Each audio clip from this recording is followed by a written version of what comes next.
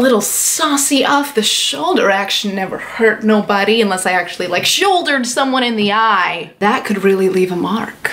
What's up, Buttercups? Welcome to Mantra Monday, where I, Amy Young, kick off your week with a simple but empowering statement that you can take and use as a mantra in your own dating life. Do you know how we like to get Mantra Monday started? It's with a scenario.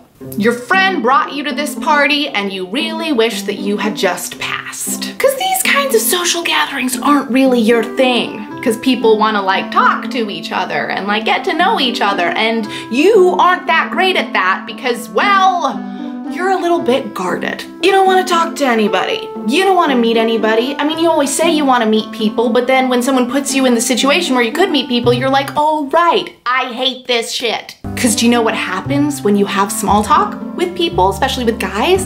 Um, you might start to like them, and then they might like you, and then you'll go down this road together, and you'll just inevitably hurt each other, and you've been there, done that, and you're over it. And all your friends are like, you need to give people a chance. You need to just open up a little bit. You're awesome. If people just saw how awesome you are, you would have a boyfriend already. And you're like, oh, hi.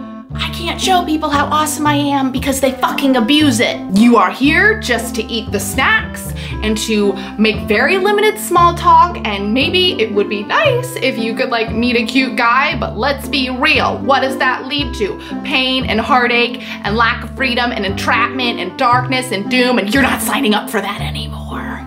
What a depressing nightmare of a story. Repeat after me. When my guard is up, my chances go down. When my guard is up, my chances go down. When my guard is up, my chances go down. Well, tell me something I don't know, fucking Captain Obvious. I don't really like the idea of my chances going down though. Like I don't really want to think about it that way. I just prefer to stay, you know, closed off and cold and ice princessy and fuck, am I gonna have to change that? I haven't really considered like the long-term implications of this way of being. Like in the short term, it's great, like total gratification. I don't have to fucking talk to anybody. But in the long term, wow, I might be really screwing myself over. And that's not fair. That's not fair to me, and that's not fair to the lovely people at this party who I am not gracing with my effervescent presence when I don't have such a stick up my ass, which I do a lot of the time. I gotta put that stick somewhere else. It just doesn't make sense for me to continue this way if being guarded and closed off is producing the opposite results of what I actually want in my life, which is meaningful connection and romantic fulfillment and all this juicy fucking stuff that sounds so good in theory. Yeah. I'm not saying that I will be good at it. I'm not saying that I even really know how right now, but I'm gonna make efforts. The guard is going down, so my chances at love can continue to go up. Here I am, world. I said I'd work on it. All we can ever do is try. And then try again, and then keep trying. Just try, uh, keep trying.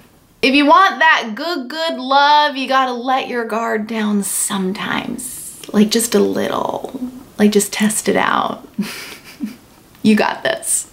You know, there's always so many more things I wanna say that I just can't fit into these videos. And that is why I send out a regular email series to the awesome community of people who are part of the bigger conversation that's happening over at amyyoungcoaching.com. So if you wanna get in on that, just head to the link that's in the description box. You can enter your email right down there and I'll visit your inbox very soon. I would love to connect with you that way. Speaking of making connections, something tells me that you have a gal pal who would love to get in on this party. So go ahead and share this video with her. Help her get in on the romance revolution because we are totally changing the way that you think about dating and relationships over here one video at a fucking time. Thank you so much for watching and if you liked this video, please subscribe to my channel. I would really love to see you on a regular basis and until next time, I'll see ya. Bye-bye. You raise your arms like it doesn't, it's like a trap, like keep your arms by your side. No windmilling, missy.